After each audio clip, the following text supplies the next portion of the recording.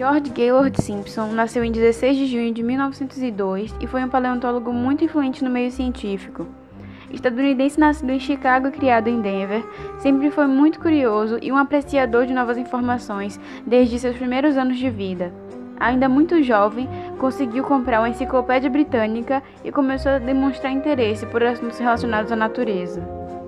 Ser considerado muito inteligente, pulou várias séries do ensino básico e ingressou na universidade aos 16 anos, onde cursou geologia e paleontologia na Universidade do Colorado. Mas, ao final de um dos cursos, decidiu mudar-se para a Universidade de Yale. Esta era considerada a melhor instituição de ensino na área que tinha interesse e por isso fez. No mesmo ano em que mudou-se para a Universidade de Yale, ele se casou. Foi à França com o intuito de terminar seu curso de língua estrangeira, se graduando no ano de 1923. No porão da Yale Peabody Museum of Natural History, encontrou material necessário para começar o seu doutorado na Universidade de Yale. Sua tese de doutorado estava relacionada com mamíferos do Mesozoico encontrados nos Estados Unidos e foi concluída em 1926. Após isso, passou um ano em Londres para fazer o pós-doutorado no Museu Britânico de História Natural. Nesse período, usou informações relacionadas ao doutorado e as combinou com as informações descobertas enquanto estava na Europa. Em 1927, conseguiu uma vaga como assistente do guardião de fósseis de vertebrados do Museu Americano de História Natural em Nova York. Passou alguns anos estudando paleomastologia, o que despertou em Simpson um interesse muito grande pela fauna da América do Sul.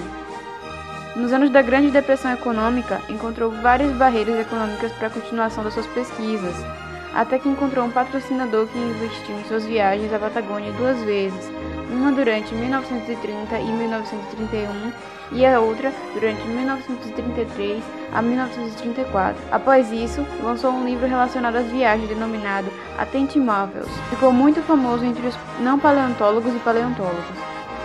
Casou-se pela segunda vez após alguns anos e se tornou o primeiro presidente eleito da Society of Vertebrate Paleontology. Nessa mesma época, estava ocorrendo a Segunda Guerra Mundial, e foi nesse período que ele resolveu se alistar no Corpo de Informação do Exército Americano.